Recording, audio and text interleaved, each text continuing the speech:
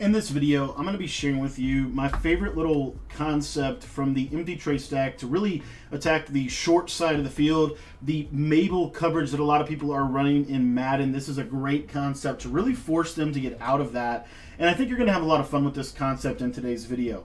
What's going on guys? My name is Cody and I want to thank you for taking the time to watch this video. If it's your first time visiting my channel, be sure to hit that subscribe button down below. It's completely free to subscribe to the channel and it just allows you to be able to stay up to date on the latest tips and tricks. Madden 22 is right around the corner. We got a lot of content planned for you. We're going to be uploading eight videos a minimum day. Um, we're also going to be streaming every single day for Madden 22 launch. So be sure to be out and be on the lookout for that. We're also going to be having some guides available for you day one. And one of those things that we've been working on is a five wide receiver offense that you are going to absolutely have a blast with. This is out of the Pittsburgh Steelers offensive playbook. And what we're going to show you today is something that we actually put in our True Fan membership. Um, we put the whole offense in there, so if you want to get the whole offense, it's in the True Fan membership. That is just five bucks a month. You can cancel it at any time. The link is in the description if you want to get access to it. But what it is is it's a very good way to be able to basically run a smash concept. I absolutely love the smash concept this year, specifically in terms of next gen Madden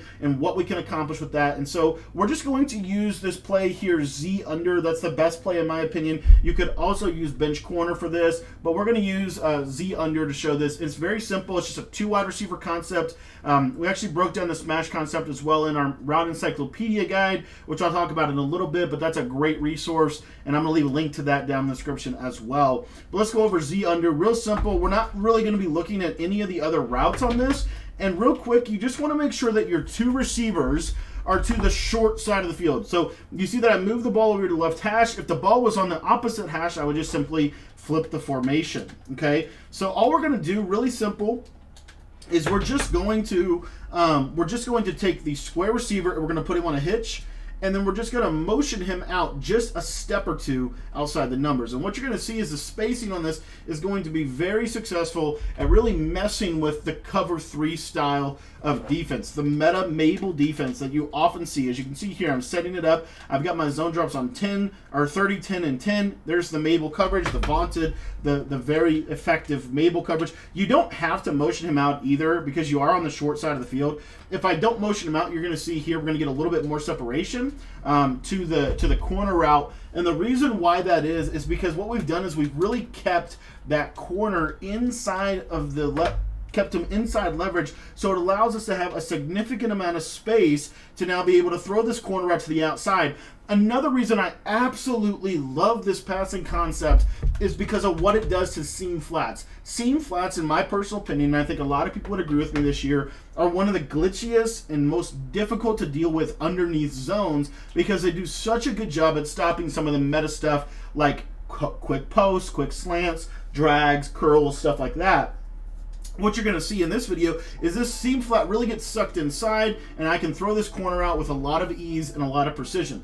The seam flat zone will never, and I mean never ever, will it get out there and cover this corner route, which is what makes this so daggone effective. Not only by running the corner out to the short side of the field, and I've talked about this some on my channel before, by running a corner route on the short side of the field, what happens is the deep blue never really defends the corner. Combine that with the fact that we've now figured out a way to glitch out seam flat zones just as much as we can glitch out cloud flats by using hitches. That is what makes this so daggone special.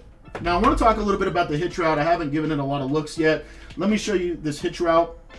What I like about this hitch route is you're going to see here that really no zone in the game is going to defend it. It's one of the most unique routes in the game. I've talked about this for years in Madden. I've actually broken this down in my route concept encyclopedia as well. This is really one of my go-to underneath style routes. You're going to see I'm going to put a vertical hook out there. You'll notice that he won't defend this and this is due to the fact that this there's a grid system in Madden. I I started to kind of come to grips with this concept when I was studying some of the things that Ant Camp 24 has been talking about as I was trying to kind of get back up to speed in the competitive Madden community. He kept talking about this grid system and the fact that zones have different grids and different spots on the field at which they're going to drop. And if a route is in that grid, they'll cover it, but if the route is not in the grid, they'll basically ignore it. Well, outside the numbers is the best place to run a hitch route because it's outside of the yellow zone grid and it's inside of the cloud flat grid. But the problem is the cloud flat grid is going to get pulled outside by the by the corner route, and then the seam flat is going to get pulled vertical by the corner route because it's a vertical route and then an outcut route. So it's basically pulling both the seams. It's also stretching the flat zones. And so this is what you end up with. This hitch route can be thrown against every single Mabel coverage in the entire game, and it makes it impossible to stop with your without using it. The problem with that for the defense is they cannot stop the left side of the field without their user contention to be on the left side of the field. So what we can do on this backside is anything that we really want to. One of my favorite little concepts to run on the backside of this is just a simple curl um, just a simple curl uh, flat concept. Something simple like this, real easy, real simple hitch curl out route. The idiot beater from TNC. This is a great principle and a great concept because once again, where do these routes get to on this grid? It's such an important tip, such an important point. And really what you've done is you put the user in no man's land. He can't win. If he goes to the left side, which is what he has to do to stop this hitch route, then all I have to do as a, as a uh, quarterback is simply throw the curl um, to X or the, the uh, hitch to Scotty Miller. Whichever one of those is open is where I'm going to throw. Typically, the hitch is going to be wide open, uh, as you saw right there. So just a lot of great opportunity in my opinion. This is one of my favorite plays of all time. Um, this has truly become one of my favorite plays in the entire game. Another little thing that you can do if you want to have some fun is you certainly can use this, um, this basically like if you have Hot Route Master, I can use a post and then what I can do is I can run a hitch and then I can run a curl. So I've got curl, post, hitch. Great concept, really hard to use or defend. And as you'll see here, this post comes across and gets in a really tender spot within the coverage. This is a great concept to beat Mabel coverage. It's one of my favorite in the entire game. And I would encourage you, if you have not already checked out my uh, five wide out of the empty trey stack, this is something that is really, really effective. And this is something that I think is going to be really, really effective in Madden. Uh, in Madden going forward, you're going to see this is going to be a great concept. It's a great uh, combination. Something like this you could also do if you have Hot Route Master. This is a great little read. But you take a look at this corner route. I mean, look how open that is on the sideline. If you have Gunslinger, it becomes even more open. You don't have to have Hot Route Master. If you don't have Hot Route Master, please just do this setup right here and you will be successful. This is a great passing concept. I'm telling you right right now. This is so hard to defend. If they're sending pressure at you, just put Gronkowski on a hitch and there's if they're sending pressure, you're going to be able to beat them with somebody on this side of the field. Their user can't defend everybody. This is a great play to go to whenever you just need to get some quick yards and you know that they're running a lot of Mabel coverage. Now, this concept will beat more than just Mabel coverage. I didn't spend a ton of time in this video talking about this as a as a concept that can beat more than just Mabel coverage, but I'm just going to show you the smash concept against cover two. It's actually the, the concept that was built to be good against, and as you can see, the corner route gets under under the cover two at a 30 yard cloud flat zone drop, as well as your little hitch was standing wide open the entire time.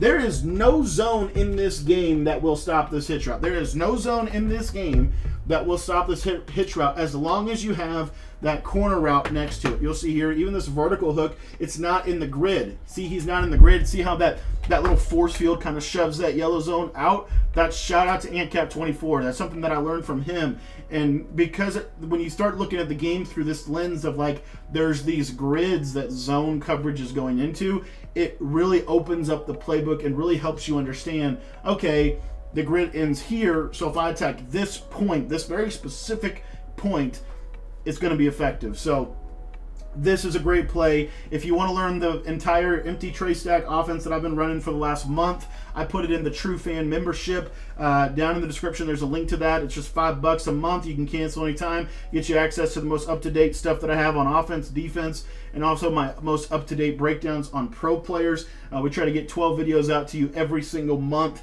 And so we got a lot of work to do to finish out July. We got a lot of content coming on the course of the next week for that. And if you've not got the Route Encyclopedia yet, I would encourage you to do that. It's a great resource. We're going to be adding more and more to it. Um, it's really meant to be a uh, a brain dump, a glossary, a dictionary, an encyclopedia of sorts that can really help you understand these are concepts that have been effective forever. We talk about triangle concepts, levels concepts, verticals concepts, um, all of that stuff. So if you want to get access to that, both of those links are down below. Just grab whatever you want. Thanks for your support. I hope you enjoyed the video, and be sure to start using the Smash concept in your offense.